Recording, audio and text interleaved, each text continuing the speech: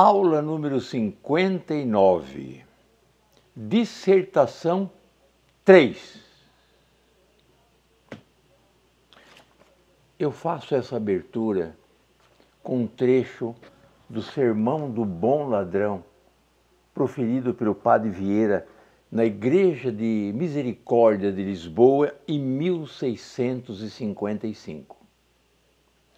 Ele começa com uma frase latina tirada de Lucas, do Evangelho, capítulo 23.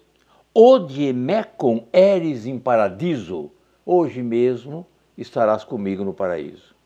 É a fala de Cristo, de Jesus Cristo, ao bom ladrão.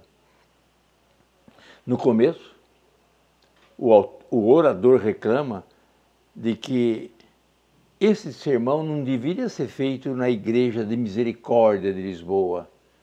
Deveria ser proferido na Igreja da Capela Real de Lisboa, que está mais perto do poder. O rei está ao lado. Fazendo uma comparação do que ele quer dizer é o seguinte: um sermão que cuida de corrupção não deve ser feito na Catedral da Aparecida, em São Paulo, e sim na Catedral de Brasília, ao lado do poder os poderes devem ouvir a pregação do Padre Vieira. Ele inicia a pregação.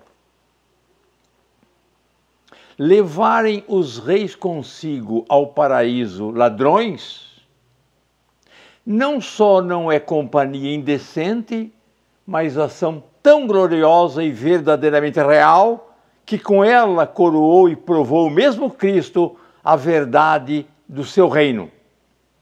Tanto que admitiu na cruz o título de rei.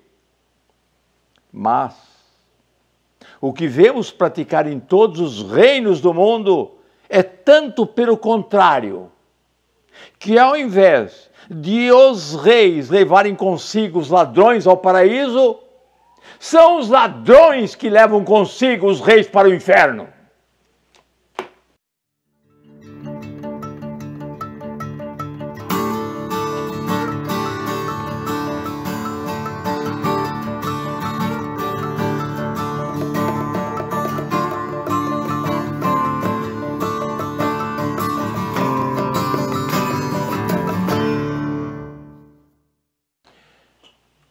Estamos dando uma explicação, uma aula sobre dissertação. Eu escolhi a maneira mais didática possível. Dar a dissertação dos grandes autores. Imitar os grandes autores. Um grande cantor inicia sua carreira imitando um outro cantor que ele admira um artista, um literato, um poeta. Então, estamos dando as melhores redações, as melhores dissertações que eu pude encontrar como exemplo da matéria. O sermão de Santo Antônio aos Peixes foi proferido na cidade de São Luís do Maranhão em 1654 três dias antes de Padre Vieira sair escondido, corrido e até expulso da cidade do Maranhão. Foi para Lisboa, justamente para trazer para Maranhão aquilo que eles não quiseram: uma orientação, uma limitação à escravidão indígena dos índios. E é por isso que ele foi expulso do Maranhão, porque ele dificultava a escravidão escravidão dos índios. O sermão de Santo Antônio aos Peixes, Vieira faz com uma alegoria, imitando o que fez Santo Antônio. Santo Antônio fez uma oração aos peixes. Diz a lenda que os peixes saíram da água para ouvi-lo. Vieira fez o mesmo. Já que ele não pode falar aos homens do Maranhão, ele faz uma dissertação, uma oração aos peixes. É evidente que cada peixe é um ser humano. O tubarão aniquila todos e come todos os lambaris. Se fosse o contrário, seria um pouquinho melhor. Os lambaris milhares poderiam se servir de um só tubarão. Há o peixe voador, que é aquele é, que se mete em atividades que não é de sua tarefa. Há o peixe pequeno que engole o menor ainda. Ele faz uma descrição dos peixes, e até do polvo, que não é peixe, mas faz uma descrição do polvo, o traidor, o grande traidor da terra. Vamos ver um trecho, uma dissertação do Padre Antônio Vieira sobre o tema que ele se propôs. Está dizendo aos peixes: Vós cuidais que só os tapuias se comem uns aos outros? Muito maior açougue é o de cá, muito mais se come os brancos Vede vós todos aquele bulir, vede todo aquele andar, vedes aquele concorrer às praças e cruzar as ruas, vede aquele subir e descer as calçadas, vedes aquele entrar e sair sem inquietação nem sossego? Pois tudo aquilo é andarem buscando os homens como hão de comer e como se hão de comer. Morreu algum deles, vereis logo tanto sobre o miserável a despedaçá-lo e comê-lo. Comem-no os herdeiros, comem-no os testamenteiros, comem-no os legatários, comem-no os credores, comem-no os oficiais e órfãos e os de defuntos e ausentes, comem-no o médico que o curou ou ajudou a morrer. Come o sangrador que lhe tirou sangue. Come a mesma mulher que de má vontade lhe dá para mortalho o lençol mais velho da casa. Come-o o que lhe abre a cova, o que lhe tange os sinos, e os que cantando o levam a enterrar. Enfim, ainda o pobre defunto ou não comeu a terra e já tem comido toda a terra. Já se os homens se comerem somente depois de mortos, parece que era menos horror e menos matéria de sentimentos. Mas, para que conheçais a que chega a vossa crueldade, considerai peixes que também os homens se comem vivos, assim como vós. Vede um homem desses que andam perseguidos de pleitos ou acusados de crimes, e olhai quantos o estão comendo. Come-o o meirinho, come-o o carcereiro, come-o o escrivão, come-o o solicitador, come-o o advogado come-o o inquiridor, come-o a testemunha, come-o o julgador, e ainda não está sentenciado e já está comido. São piores os homens que os corvos. O triste que foi a forca não come os corvos, senão depois de executado e morto. E o que anda em juízo ainda não está executado nem sentenciado e já está comido.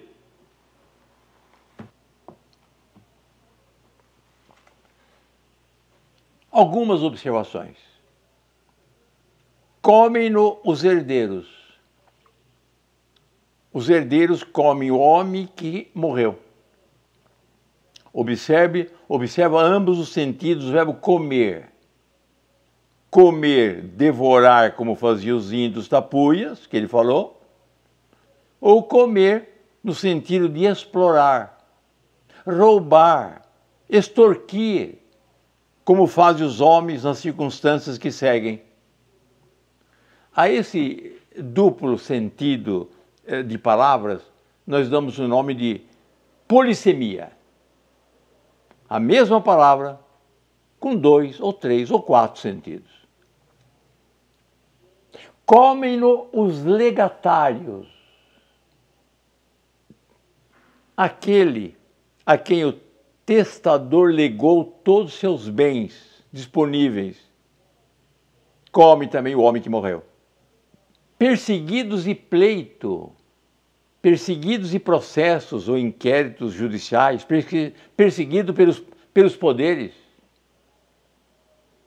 Come o meirinho, o oficial de justiça, como esses homens perseguidos de pleito. Observe a frase. Destaquemos a frase. Ainda o pobre defunto o não comeu a terra e já o tem comido toda a terra. Vou repetir a leitura. Ainda ao pobre defunto o não comeu a terra e já o tem comido toda a terra. Primeiro, objeto direto preposicionado ao pobre defunto. Objeto direto preposicionado. Objeto direto pleonástico. O, esse não o comeu, o não comeu. É pleonástico porque se refere novamente ao pobre defunto. Polissemia do verbo comer. Aí no texto, com dois sentidos. Comeu, devorou, incorporou, que é o primeiro comeu, e o segundo, comido, roubado, furtado, extorquido. Olha a polissemia da palavra terra com dois sentidos. Terra com dois sentidos ainda o pobre defunto não comeu a terra, e essa terra é, é, é, significa o chão, o solo. Então, ao pobre defunto ainda não comeu a terra, e o já tem comido toda a terra, ou seja, todos os homens que habitam a terra. Na ordem direta, a frase seria o seguinte: a terra não comeu o pobre defunto. Não tem ritmo, não tem arte, não há beleza na frase. É preciso explorar melhor. Além do mais, ele quer dar, ele quer dar importância não à palavra terra, que no texto não tem sentido nenhum. Não é isso que ele está dizendo. Ele quer dar valor ao pobre defunto. Então ele puxa o pobre defunto para o início da frase e diz: se ele meramente colocasse o pobre defunto antes do verbo, poderia dar uma duplicidade de sentido, uma anfibologia. Então ele prefere fazer o seguinte: ele toma o termo anterior, começa com o objeto direto, preposiciona o objeto direto, repete o objeto direto e a frase fica tranquila e dá valor ao que ele quer dar ao pobre defunto. Então observa a diferença. O que ele quer dizer é o seguinte: a terra não comeu o pobre defunto, mas ele quer valorizar o pobre defunto. Ao pobre defunto não o comeu a terra.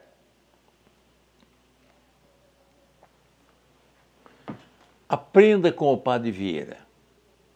Como é que eu faço para inverter uma frase, como, começar pelo objeto direto, que eu tenho mais importância a ele, estou dando importância a ele, ao objeto direto, para que não haja confusão, para que não haja duplicidade de sentido, o que nós chamamos de anfibologia. Eu poderia trabalhar, como trabalho para Vieira, com a concordância verbal. Observa, se eu dissesse o pobre defunto não comeram os corvos. A frase está clara. Os corvos que não comeram o pobre defunto. Se eu colocasse uma vírgula, não seria muito feliz, mas estaria correto. O pobre defunto, vírgula, não comeu a terra. Mas se eu coloco um objeto direto pleonástico, repetido, observa, o pobre defunto ou não comeu a terra. Está claro. Eu coloco então, repito o objeto direto. Ou preposiciono o objeto direto. Ao pobre defunto ou não comeu a terra. Ou faço as duas coisas como fez Padre Vieira. Preposiciono o objeto direto e coloco o pleonasmo ao objeto direto. Repito o objeto direto. Ao pobre defunto ou não comeu a terra. E a frase fica bonita, linda, tem ritmo, tem beleza. Vamos repetir como outra frase. Suponhamos a frase: Deus criou o homem, sua imagem e semelhança. Mas eu quero valorizar não Deus nesse caso, eu queria valorizar os homens, ou o homem.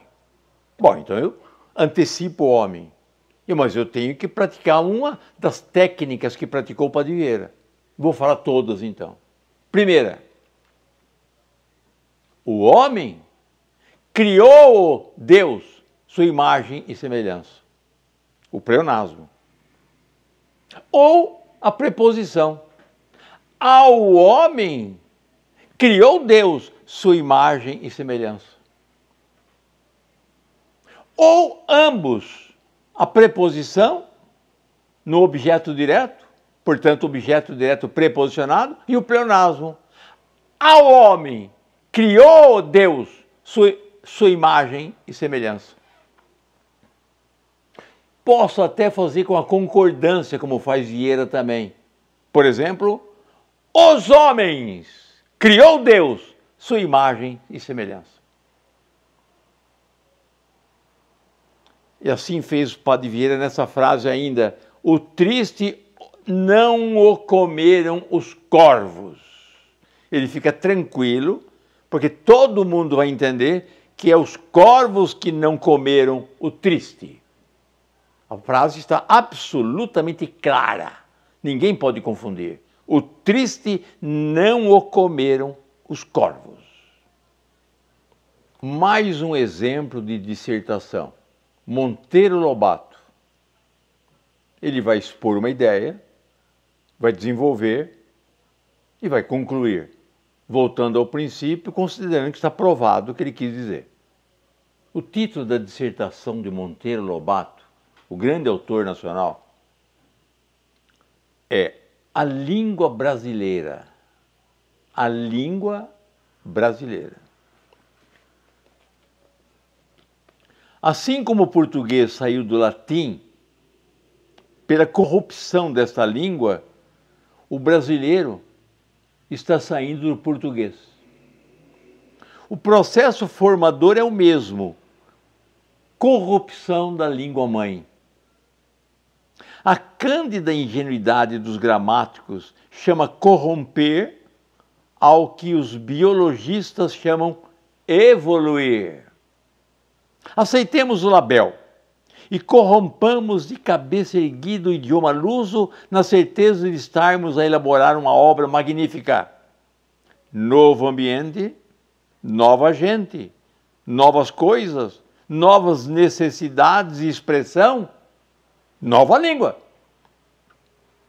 É risível o esforço do Carrança, curto de ideias, incompreensivo, que debatera contra esse fenômeno natural e tenta paralisar o nosso, a nossa elaboração linguística em nome de um respeito supersticioso pelos velhos tabus portugueses que corromperam o latim a nova língua, filha da Lusa, nasceu no dia em que Cabral aportou ao Brasil. Não há documentos, mas é provável que o primeiro brasileirismo surgisse exatamente no dia 22 de abril de 1500. E desde então, não se passou dia sem que a língua do reino não fosse, na colônia, infiltrada de vocabulários novos de formação local ou modificada na significação do antigo. Lobato. O texto é uma dissertação. O, o autor quer nos convencer que, assim como a língua portuguesa corrompeu o latim, a língua brasileira vai corromper o português.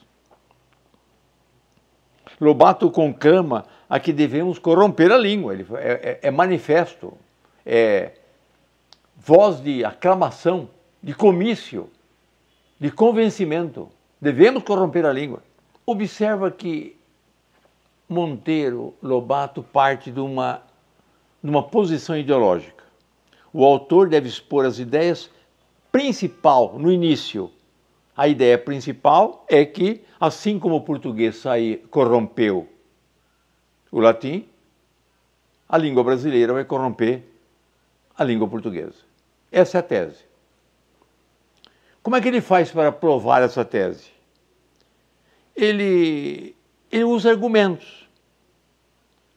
O autor aceita a nota infamante de corruptor da língua e instiga todos na construção de uma obra magnífica, que é a língua brasileira. Aceita o label, quer dizer, a taxação, o apelido, e corrompamos de cabeça erguida o idioma. Nada mais lógico, onde tudo é novo, a língua também será nova. Novo ambiente, nova gente, novas coisas, nova necessidade de expansão, nova língua. Depois ele diz que é ridículo o esforço das pessoas caretas, né? atrasadas, que se, se apegam aos clássicos, à norma antiga da língua. Mais um argumento é que os portugueses também corromperam o latim, por que não corrompamos também o português? E, finalmente, que a língua portuguesa nasceu no primeiro dia que Cabral descobriu a América, ou América portuguesa. É preciso também, como aluno, como leitor, refutar as ideias que você está lendo. Sempre questiona o que se lê. Será que é isso mesmo? Será que o ambiente em que a Península Ibérica corrompeu o latim é, é o mesmo ambiente de Cabral com os, no Brasil? É, é, o mesmo ambiente, são as, a circunstância é a mesma? Questiona também o seguinte: com o, o rádio, com a televisão, com o cinema, não é mais fácil entender que a língua brasileira está e a língua portuguesa se aproximam? Tendem a ser a mesma em todos os aspectos? Recentemente, os portugueses, jornalistas, estavam preocupados em Portugal porque as crianças estavam falando brasileiro, a língua brasileira.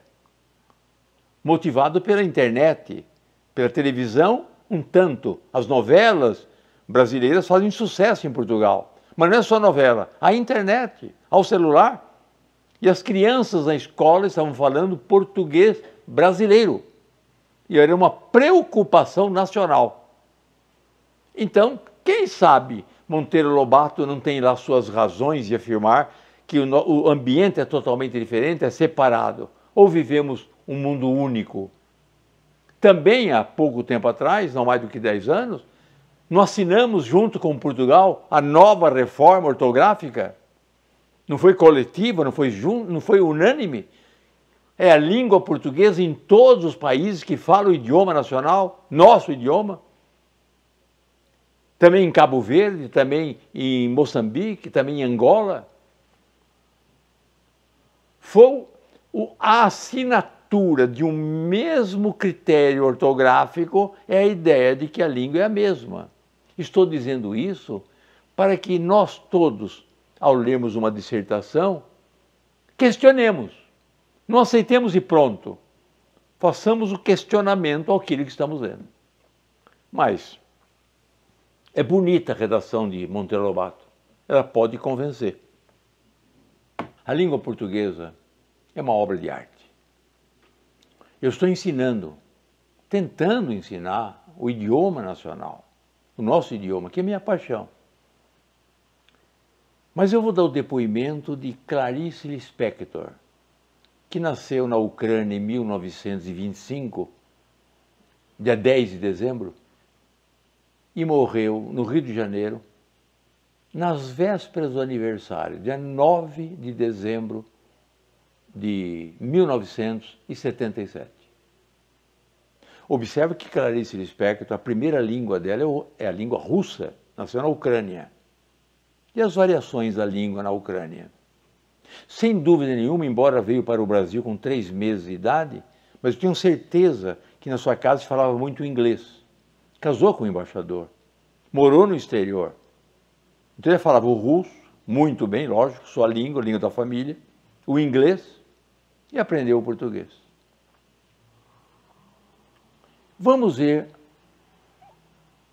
o que Clarice Lispector fala da língua portuguesa. Eu não vou ler todo, só um trecho. Esta é uma declaração de amor. Amo a língua portuguesa. Se eu fosse muda e também não pudesse escrever, e me perguntasse a que língua eu queria pertencer, eu diria inglês, que é preciso e belo. Mas como não nasci muda e pude escrever, tornou-me absolutamente claro para mim que eu queria mesmo era escrever em português. Eu até queria não ter aprendido outros idiomas, só para que a minha abordagem do português fosse virgem e límpida. Tirei esse texto do meu livro Gramática da Língua Portuguesa, ou Curso de Língua Portuguesa. Para concluir esta aula de dissertação, vou ler um trecho do padre Antônio Vieira, que é o sermão, o sermão de quarta-feira de cinza, proferido na igreja dos portugueses em Roma, primeiramente em italiano, depois ele mesmo traduziu para o português, em 1672. Estou lendo é, de um livro meu, Sermão do Mandato, que eu comento alguns trechos do Padre Vieira. Esse trecho me impressionou, porque estava assistindo a esse sermão, além da rainha Cristina, ex-rainha da Suécia, muitas autoridades de Roma. E ele no sermão da quarta-feira de cinza, ele prega contra a vaidade, contra a arrogância, pregando uma tese que nós fomos pó, viemos do pó, nem precisa acreditar em Adão e Eva, pode acreditar na evolução de Darwin. Viemos do pó e seremos pó, que também é fácil entender, basta abrir a sepultura. Então, veio do pó e vai ser pó, então o que é que nós somos? Pó. Essa é a tese dele, um belo sermão de quarta-feira de cinza. O autor Ricardo Reis, aqui no Brasil, cognome do, o mesmo nome de, de Ricardo Reis Fernando Pessoa, fez uma, uma bela peça teatral declamando o texto Quarta-feira de Cinzas. Então o texto me impressionou pela presença de autoridades neste sermão em Roma além da rainha Cristina, ex-rainha da Suécia, também as autoridades de Roma. Vamos ver. Abrir aquelas sepulturas e ver de qual é ali o Senhor e qual o servo. Qual é ali é o pobre e qual o rico. Distingue-me ali, se podeis, o valente do fraco, o formoso do feio, o rei coroado de ouro do escravo de argel carregado de ferro. Distingui-los? Conhecê-los? Não por certo. O grande e o pequeno, o rico e o pobre, o sábio e o ignorante, o senhor e o escravo, o príncipe e o cavador, o alemão e o etíope, todos ali são me da mesma cor, isto é, todos iguais no termo da vida. Só as ações valorizam ou exalçam os homens, só as virtudes pesam na balança de Deus. A minha pátria é a língua portuguesa.